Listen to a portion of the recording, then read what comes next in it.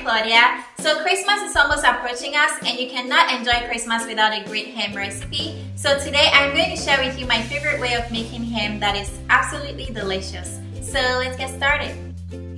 I'm using an 8 pound ham and my ham is already spiral sliced which is the best ham for this recipe. If your ham isn't pre-sliced, you can easily use a knife to run slices through it and make it look just like this. So I'm going to prep my ham by sticking some cut up pineapples and cherries in between the slices. The ham is going to get amazing flavor from the fruits. And you're going to secure your ham with toothpicks so that it doesn't fall apart.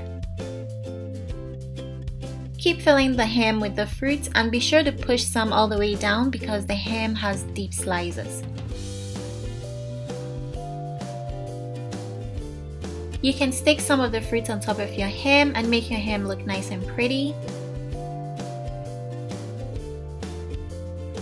Alright, when you're done prepping your ham, you're going to place it on your roasting pan and cover it with aluminum foil and you're going to bake this for an hour and 30 minutes in a 275 degrees Fahrenheit oven. So while this ham is baking, I'm going to start making a delicious glaze for it. I have some melted butter in a bowl and to that I am adding some brown sugar. Make sure your melted butter is pretty warm because that's going to help melt the sugar. Next I'm adding in some honey. Dump it all in there and you're going to mix everything together until the sugar gets dissolved and it looks this nice and velvety rich. Next, I'm going to add the juice from my cherries and pineapples. This is all good flavor. I'm adding in some ground cloves. Cloves are really good for ham. And last, I'm going to add in some Dijon mustard. The mustard is going to balance the sweetness and give it a really nice tang taste. Mix everything together.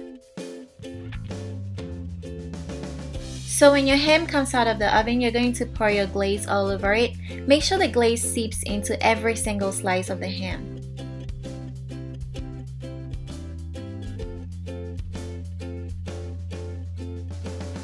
So you're going to cover back your ham with aluminum foil and this goes back into a 275 degrees Fahrenheit oven for an extra 15 minutes and I'll show you what to do next.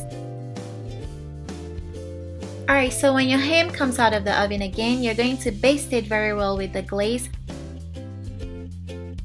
And this goes back into the oven uncovered for an extra 15 minutes. And it's going to come out looking this beautifully caramelized and delicious.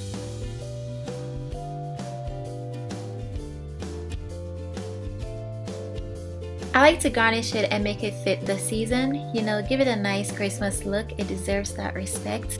And this ham came out so good. You know what? Let me tell you how delicious this ham came out. It was super amazingly delicious. And that, my friends, is all I can say. Until you make it, you'll never know. Don't forget to check out the description box for the recipe.